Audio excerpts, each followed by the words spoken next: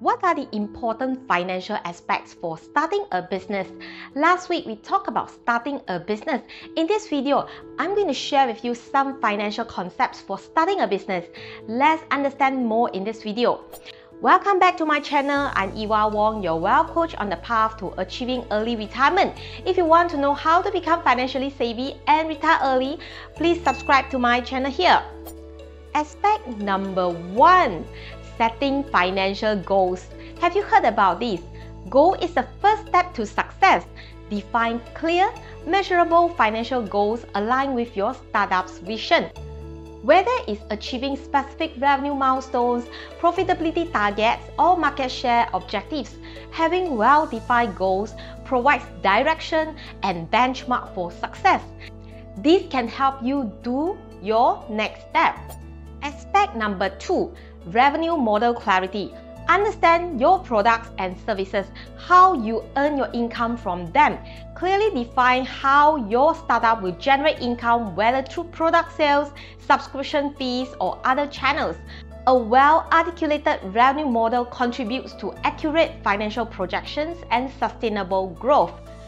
Aspect number three budgeting and forecasting. Like personal finance, you need to begin with a meticulous budget that details your startup's expected expenses and income. This document serves as your financial roadmap, helping you to make decisions and allocate resources. Regularly update forecasts to adapt to changes in the market, industry, or internal business dynamics. Aspect number four cash flow management. Cash flow, the lifeblood of any startup, must be managed with precision. Track incoming and outgoing cash to ensure there's enough liquidity to cover the operational costs and unforeseen challenges.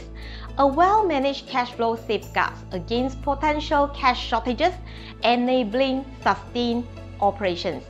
Aspect number five financial aids. After doing the projection of revenue and cash flow forecast, you will need to know whether you need additional funding. Identify the source of funds either via borrowing or crowdfunding. You might even look for government grants and funds too. Aspect number six debt management. If you're looking at loans, you need to manage your debts well. While leveraging debts can fuel your growth, it requires careful management, understanding the terms of loans, interest rates, and repayment schedules.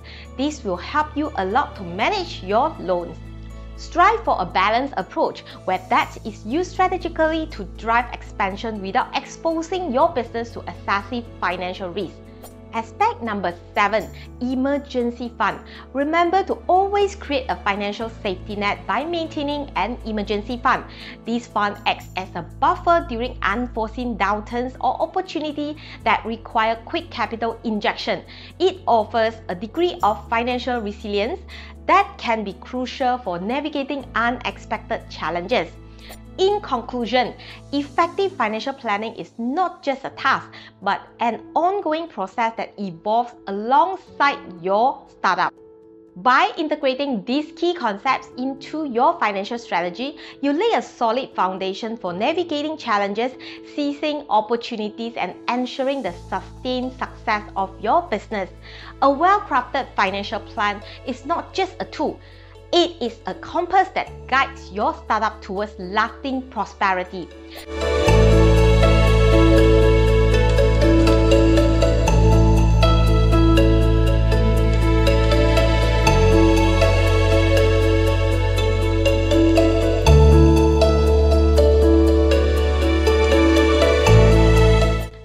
For my sharing this time. If you find this information helpful, please give me a thumbs up, subscribe to my channel and hit the notification bell for more informative content. And if you have any questions or topic you would like me to cover in my future video, please leave me a comment below. Thanks for watching and I shall see you in my next video. Bye!